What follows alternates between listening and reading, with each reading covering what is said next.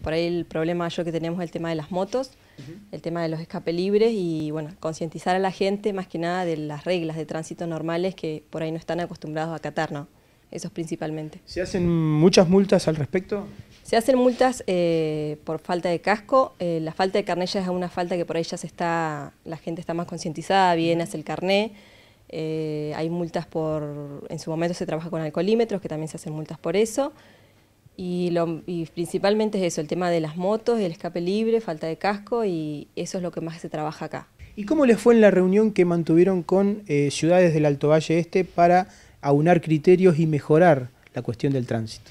Bueno, yo tuvimos una reunión ahí en Villa Regina, de Cervantes a Chichinales, bueno, Chichinales estuvo presente, pero bueno, la idea es esto, aunar criterios, eh, intercambiarnos información, eh, crear algún comité de tránsito, como está en Cipoletti, pero la zona de esta. Y, bueno, eh, eh, tenemos por ahí problemas que, a ver qué pasa. El tema del carnet, por la ley, estamos todos adheridos a la ley nacional de tránsito, el carnet tiene que ser del domicilio de la localidad. Tenemos algunas localidades vecinas que por ahí otorgan eh, carnet a personas que tienen domicilio en otras localidades. Entonces esto genera un problema.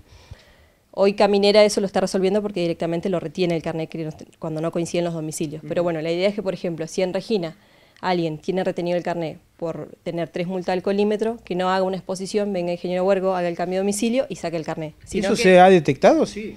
Y sí, se ha detectado y es porque justamente generalmente nos pasa con algunos municipios, vecinos que bueno que, se conocen o, personas que sí tienen inconvenientes con el tránsito, se van a otro municipio a sacar el carnet. Hacen hasta el, hasta el cambio de domicilio, hacen. Pero bueno, eh, es evitar esto a través de oficios. Bueno, ahora nos, intercambiamos mails para hacer algún otro, algo más expeditivo que no sea un oficio, porque un oficio por ahí te tarda 20 días. Pero bueno, sí poder hacerlo o telefónicamente o vía mail para... Y quedamos la próxima reunión se va a hacer el 2 de septiembre acá en Ingeniero Huergo.